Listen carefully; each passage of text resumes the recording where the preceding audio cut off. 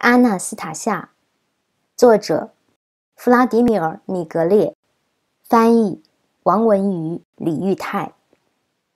第十三章，在你的星星下入眠。前面说过，阿纳斯塔夏只要一讲到植物，跟植物交流的人就会热情洋溢。我以为像他这样住在大自然里，只对大自然有研究。没想到他也对星体有所认识，他似乎感觉得到宇宙天体。由你们自己来判断。关于睡在星空下的事，他是这样说的：植物接收到一个特定的人的信息后，便开始跟宇宙交换讯息。不过，植物只是中间的媒介，他们的任务有限，只涉及肉体跟部分心灵层面的影响。他们从来不会触及人脑与人的生命计划这类复杂的程序。人脑处理讯息的方式天生就很复杂。这个星球上没有任何一种动植物有这种复杂的系统。然而，他们建立的讯息交换能促使人发挥人独有的一项能力：使用宇宙智能，或者说的准确些，跟宇宙智能通讯。简单几个步骤就能进行。并且感受到它的效益。阿纳斯塔夏详细说明如下：选一个天气状况允许的夜晚，露宿在星空下，把你的床位铺设在悬钩子或醋栗丛或谷类作物的旁边。只有你一个人，躺下来面对天空的同时，先不要闭上眼睛，让意念随着眼神在星星间游移。不要费心太用力去想着它们，让你的意识保持轻盈自由。然后试着想想那几颗最明显的星星。再来想想珍藏在你心中的美好事物，及与你最亲近、只想给予他们满满的祝福的人。这时千万不要想着报复、诅咒谁。因为这可能会在你身上招致不好的结果。这个简单的做法会活化你脑中许多沉睡的细胞，其中绝大多数甚至在人的一生中都不曾有机会醒来。宇宙的力量将与你同在，协助你实现最璀璨、不可思议的梦想。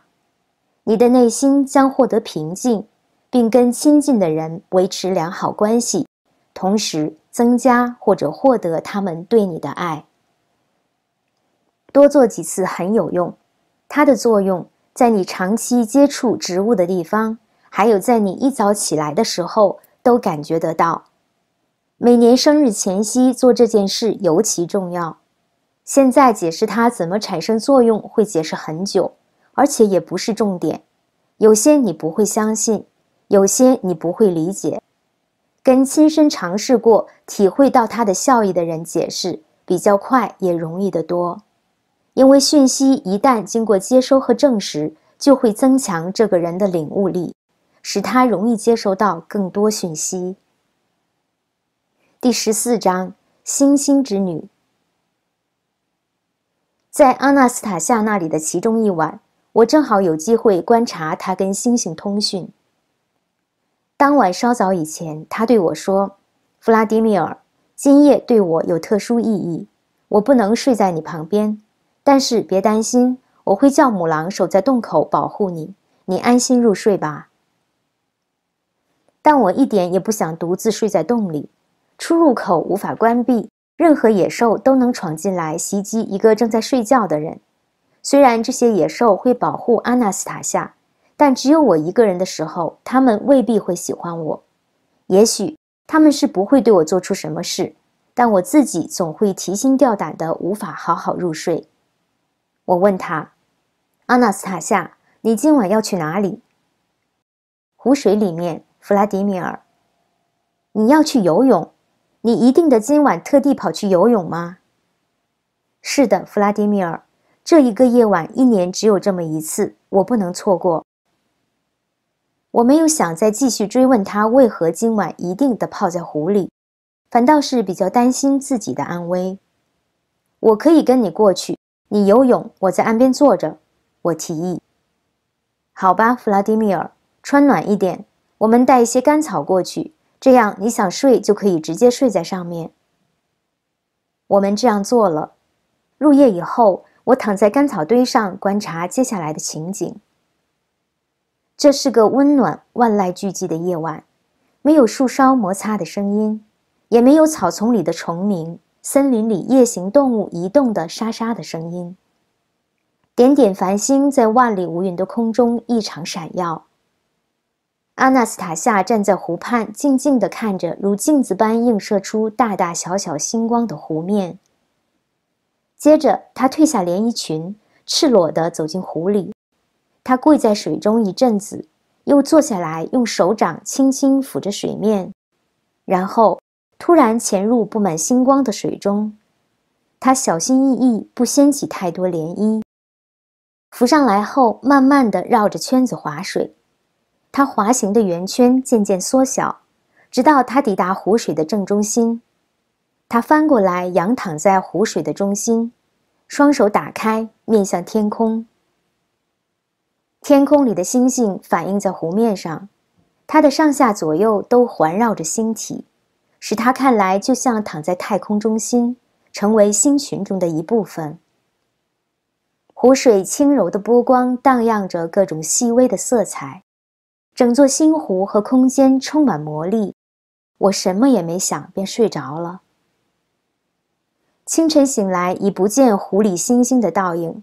身着连身裙的阿纳斯塔夏坐在我旁边，双手环抱着膝盖，头靠在上面，没有动静。虽然还很早，但我已经睡不着了。我想知道为什么他要进行这种奇怪的夜间程序。不知为何，我这就挪过去碰碰他的手，说：“阿纳斯塔夏，我有话要对你说，希望你别介意。”你说吧，弗拉迪米尔，没关系。这一夜的湖水真的十分美丽，我从没见过这样的美景，一切如此美好，湖好像在宇宙中心。而不是在泰加林，只不过你真的不应该在水里待这么久，阿纳斯塔夏。你现在要好好照顾自己。我觉得你不该进行昨晚的程序，水温已经不适合游泳了，你可能会感冒或遭遇其他不测。你现在有了孩子，应该好好照顾身体。况且我看不出来这个程序或仪式有何意义。我那样做是有意义的，弗拉迪米尔。什么？我出事时，妈妈用这座湖里的水洗了我。水非常非常重要，它存在全宇宙的所有生命形式里面。宇宙创生的讯息全都保存在生命之水中，包括人曾经产生过的思想与感受。水也能感应、反映人的情绪。也许是这样，阿纳斯塔夏，我不知道。但为何晚上在湖里游泳？你想做什么，弗拉迪米尔？我想知道人类从一开始出现到今天，曾过着何种生活？哪一刻、哪一个时代的人们最快乐、最幸福？又是什么带给他们最大的幸福？然后我要告诉今天的人们，让大家变得幸福。让孩子们变得幸福，真的有可能知道好几世纪前的人的事吗？可以的，弗拉迪米尔。小孩一出生，长大后不止貌似父母的外表，也会跟第一个人类相像，拥有相同的血液，而他的记忆里深藏着从创世至今的一切讯息，只是他不去想这些，但只要他试着去回忆。就会忆起所有的一切。就算可以，这样的回忆也是有限的，只能回溯到个人的祖先。当然，弗拉迪米尔，当然只能回溯到个人的祖先。我细胞里的记忆为我显示的只是我的、我个人的元祖的生活景象。说完，阿纳斯塔夏跳起来，跑到湖边，小心翼翼地摸着湖水，然后转过头来继续对我说。但是水知道每个人过去的一切，它里面有所有人的信息，它知道所有曾在宇宙中发生过的事，而它帮助我看到这一切。当我躺在湖水中央，我想，它正在跟我一块想着、搜寻着我要的场景。他甚至搜寻了每一颗星球发生的事，因为它是如此无所不在。星星映在湖水，也映在我的眼里。这一刻，我们是一体的。这时，所有宇宙信息都向人敞开，因为这一刻，他感觉到自己是宇宙的小小一部分。当一个人感觉到自己是宇宙的小小一部分，宇宙会很开心，于是准备好替他服务，实现他心中的想望。听着阿纳斯塔夏这么有自信地说着宇宙、星星跟水的事，我心想：一个年轻漂亮的女人住在泰加林里，不用处理我们这个技术治理的世界会面临到的各种生活问题。也许正是因为如此。他的宇宙观才这么特别。看他这么有自信地表达自己对世界的看法，我真不好意思向他提出质疑。于是我大声地说：“阿纳斯塔夏，你像个研究学者分析人类的生活，那么你的观察已经可以上溯到多久以前了？还没有多久，只有九千年。你的还没有多久，已经算很久了。”你看到的东西有没有结论了？我以后会告诉你我的结论，弗拉迪米尔，或者我直接告诉你我看到的景象，让你跟其他人自己做出结论。让他们自己做结论当然可以了，不过得先让大家相信你的话。譬如你对水的说法跟一般人不一样，你说水可以储存讯息，跟对人的情绪做出反应。但证据在哪？证据，我想你们当代的科学家已经有了。那就是我还没听说过了。我们对水的看法很简单：水就是水，占据人周围环境中的一小部分。是的，一小部分。这一小部分是活的，很少有人想到它是活的。即使水在你的体内占了一大部分，你仍要求证据。我可以告诉你一个方法，让任何人都能体验活水的好处，弗拉迪米尔。你说吧。你和其他想体验水的疗愈力的人，先找出你们喝了最喜欢的天然泉水，然后带些泉水回家，分别倒进几个漂亮的瓶子，冷冻起来。每天晚上，按照一天所需的量，把水瓶拿出来放在桌上。下面最好垫一块绿色的布，睡前对水说些好话，或是对水产生温柔的意念。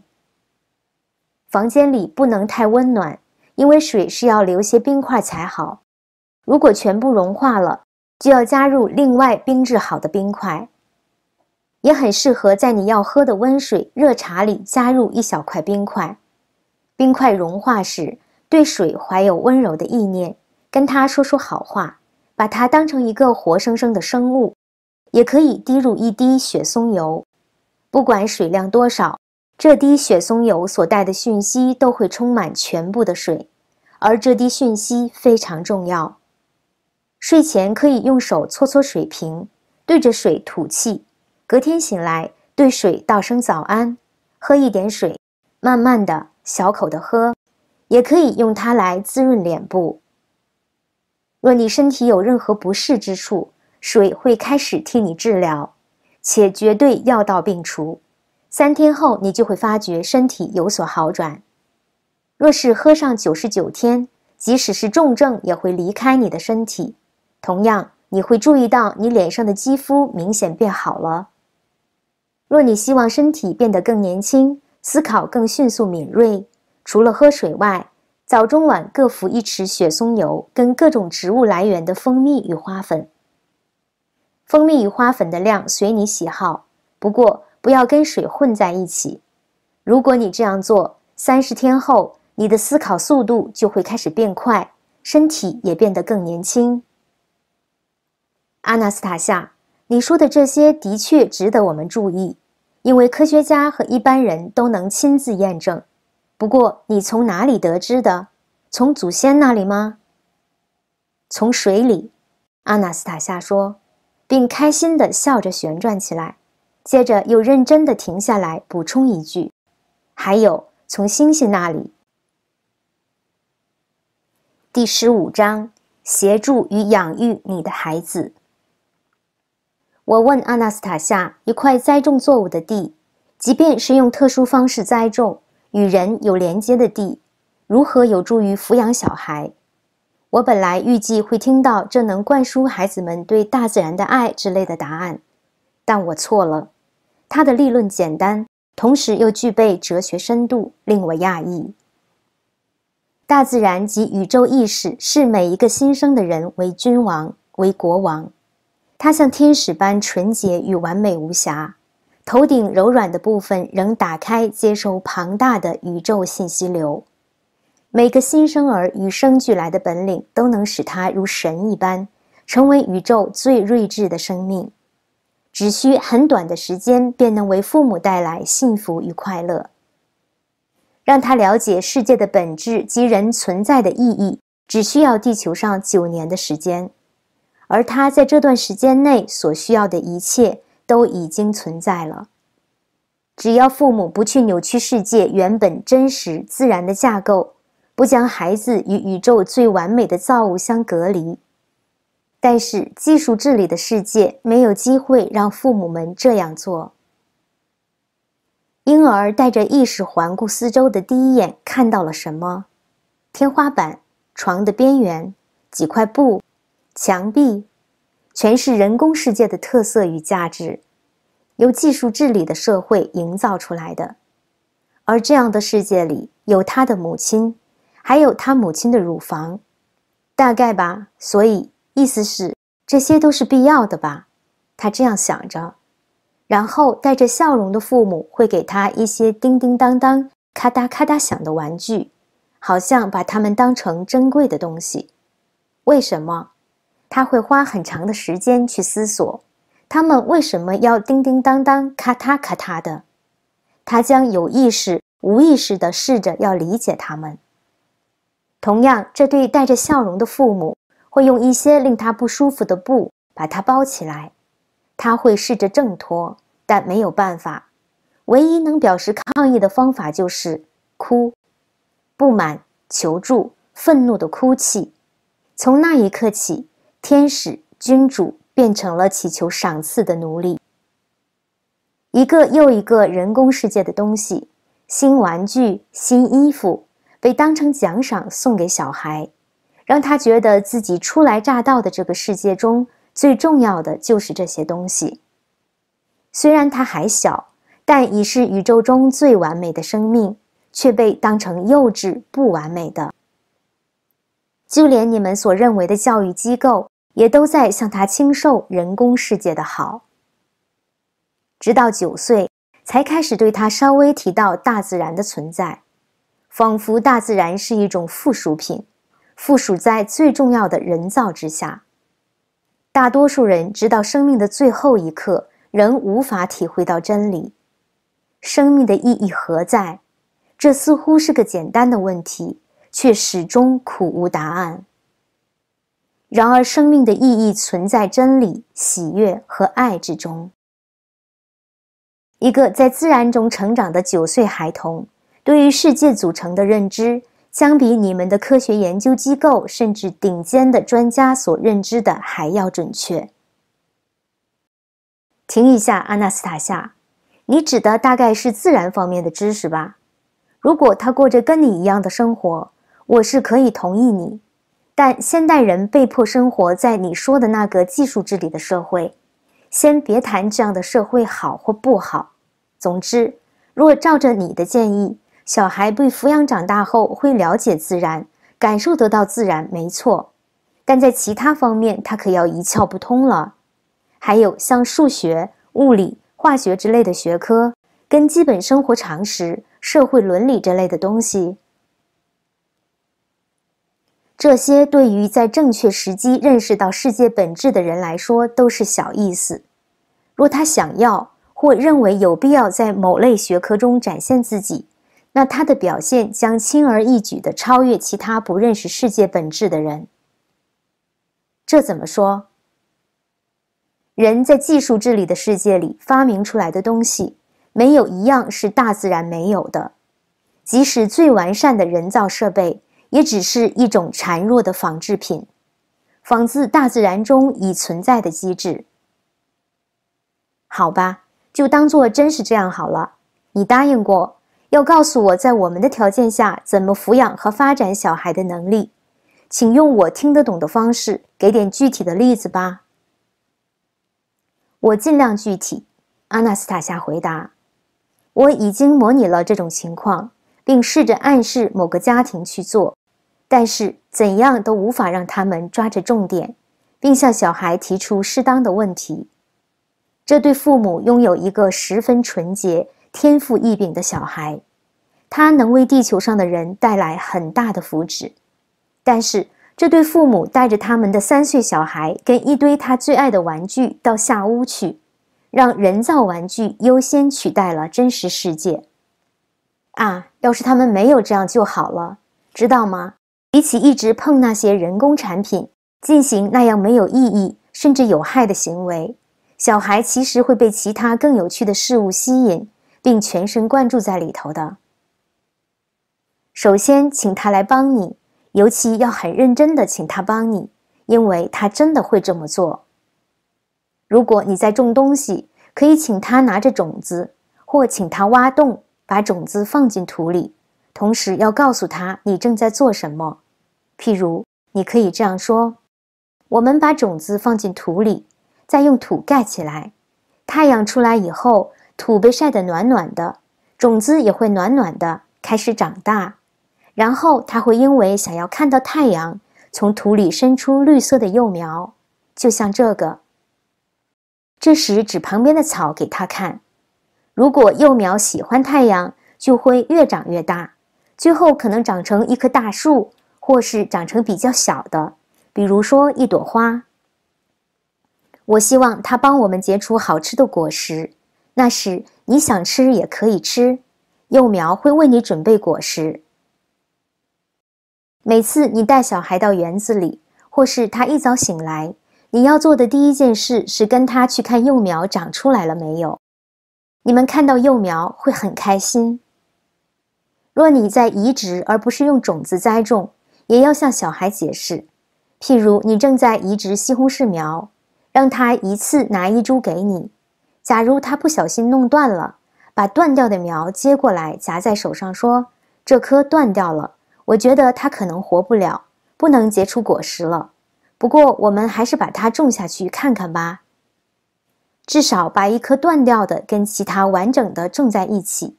几天后，你跟孩子再到苗圃去看，西红柿茎已经变得硬实，再把断掉枯萎的那棵指给他看。”提醒他，那是在种植过程中断掉的，但不能用责备的口气，要用平等的态度跟他说话。你必须牢记在心，他在某些方面其实是超越你的，譬如思想的纯洁，他是天使。若你了解这点，以后你很自然会这样对待孩子，而你的孩子将真的成为令你幸福无比的人。当你要露宿在星空下，带着孩子一起，让他躺在你旁边，看着星空，不要说出你所知的星星名称，或它们的起源与作用，因为你不是真的了解它们，而你脑中的教条会使孩子远离真相，他的潜意识知道真相，且自然会浮到表意识来，你只能告诉他你喜欢看着闪烁的星星。问他最喜欢的是哪一颗？总之，善于向孩子提出问题十分重要。隔年，帮他准备专属的苗床，让他拥有完全的自由，在上面进行任何想做的事。绝对不要强迫他或修改他做的，只能问他他想要什么。你可以跟他一起做，但只有问过他，在他的允许下才可以。当你种谷物时，让他的小手为你撒种。